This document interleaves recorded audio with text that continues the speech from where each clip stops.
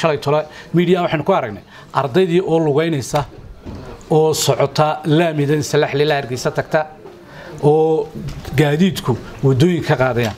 Afar iyo tobankaa sano inama aan la bedelin oo aan isbedbedelin baa ku matala deegaankan intii hore haddii caloolahooda ay ka fikireen oo ay buuxinayeen iyo kishashkooda miyaanay buuxsamayn oo deegaankooda aanay dib u eegayn.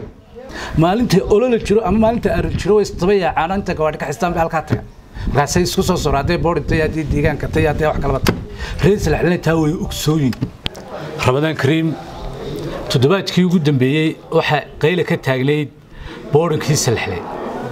Taasoo ardaydii boodhinka ku dhiganaysay gebi ahaanba ay iskaga soo dareereen. Boodhinkii salaxlena albaabada loo xidhay.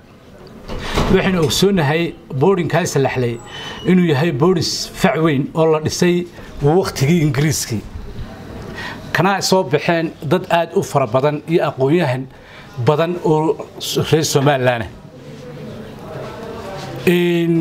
kadib labadii kun iyo labadii muddo uu xidhnaa intii somalilan aynu la soo noqonnay madax bannaanideenna labadii kun iyo labadii baa dib loo furay boodhinka salaxle ilaa iminkana uu shaqaynayey intaasoo dufcadoodna uu ka baxay boodhinka maanta waxa ayaan daro weynaa boodhinkii degmada iyo dadka deegaanku ay tacabka geliyeen in ay maanta albaabadoo xidhan yihiin ardaydiina haqabkoodii waddooyinka laga ururinayo maalinba qof waddooyinka laga qaadayo. Shalay tole miidiya waxaynu ku aragnay ardaydii oo lugaynaysa oo socota laamidan salaxlila hargeysa tagta oo gaadiidku wadooyin ka qaadayaan. Taana waxaa u sababa xukuumadda weliba wasaaradda waxbarashada iyo dowladda hoose degmada salaxle boodhinkan waxaa qacanta ku hayey allaha barakeeye ururka gaaroodi muddadaa uu qacanta ku hayey wax cabashaa iyo wax hadala oo ka imi imuu jirin. Boodhinkanna wuxuu xidhmay laba sababa raashinkii iyo iidaankii bisha rabadaan loogu talagalay ardaydu ay quudanayeen ku afurayeen kuna suxurinayeen oo meeshii ka baxay iyo shaqaalihii ka shaqaynayey ee ardayda wax u karinayey oo muddo dheer oo fara badan aan mushaar ku qaadan. Waxaynu qiyaasi karaynaa qof shaqaalaa hooyaa oo dheri ku jirta oo wax karinaysa oo ardayda tacabkooda iyo wuxoodaba soo saaraysa tacabka ugu badanna ku leh oo bilaa mushaar ku shaqaynaya. Salaxle iyadoo ah degmo sideeda kale uga hadhay degmooyinka kale jamhuuriyadda somalilan inta keliya isha keliya u badhiiqaysa u socotayna waxay ahayd. Waa boodhinka iyo ardayda ku jirta iyo tacabkaa la gelinaya waxaan halkan farin adag uga diraya wasaaradda waxbarashada. Salaxley miyaanay qorshaheeda ugu jirin?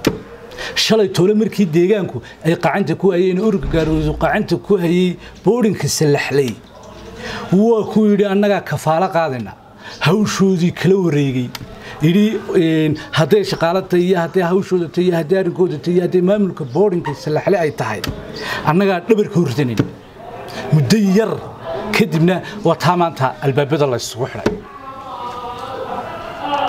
Dhinaca kale dowladda hoose salaxle waxay ahayd inay doorkeedii ay ka ciyaarto ay qaadato. Ardaydu waa halka ugu weyn iyo waxa ugu weyn ee maanta ay haysteen dadka deegaankaas ku noole salaxliyo hargeysa waxay isku jiraan lixdan kilomitr waxaa laga qabanayo allahuma salli ala degmooyinka kale laga qabanayo ee wax laga qabanayana waa ta ugu hooseysa weeyaan. Waxaa kaloo halkan fariin uga dirayaa dadka deegaankan ka soo jeeda ee xukuumadda ku matala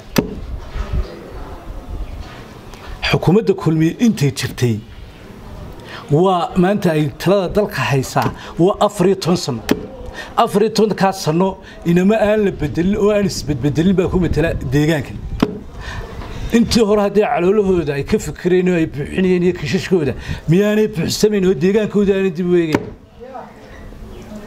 Maalinta olola jiro ama maalinta arar jiro isdaba yaacaan inta gawaadhi ka xistaan bay halkaa taga markaasay isku soo soro hadday boodhi tay haddii deegaanka tay haddii wax kalaba tay reer salaxlina taa way ogsooyin maanta laakiin arrinkan maanta taagani. Waa mid u taagan in bulshadii reer salaxley qurbajoog iyo qolqoljoogba hadday yihiin inay arrinkaas si toos u soo farageliyaan. Wasaaraddu way ku fashilantay maamulkeedu way ku fashilmay in ay si toosa u kafaalo qaadaan allahuma salli calaa maxamed boorikii salaxley maantana waa kaade habqanka arkaysa iyadoo bir rabadaan lagu jiro. Waa bisha ummaddu isku naxariisato iska daa arday yararo meel ku xaraysan iidaankoodii iyo waxay cunayeen iyo arrimahoodiibe markaa waxaan bulshooyinta reer salaxley soo jeedinayaa aan u sheegayaa inay isku tashadaan iyagoo arrinkaa galaan hawelna iyagaa qacanta ku haystay maamulkoodii la soo noqdaan waxay contributionka isku dardari jireenna ay boordinkii salaxley aynu dib ugu kabkabanno ardaydeennaa maanta kala fooftayna aynu dib insha allah u soo celino. Wasalaamu calaykum raxmatullahi barakatu maasha allah soo dhowaada. La jaanqaad shirkadda telesom.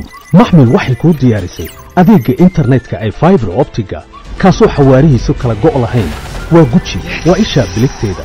Intuu soo gudlanayo hadalba gam hagarla'ii ku isticmaal sochial miidiyaha kuna daawo wararka cayaaraha iyo onlaine geemiska haddaba maxmil soo gasho gurigaaga xafiiskaaga iyo goobtaada shaqo. Fadlan nagala soo xidhiidh nambarka gaaban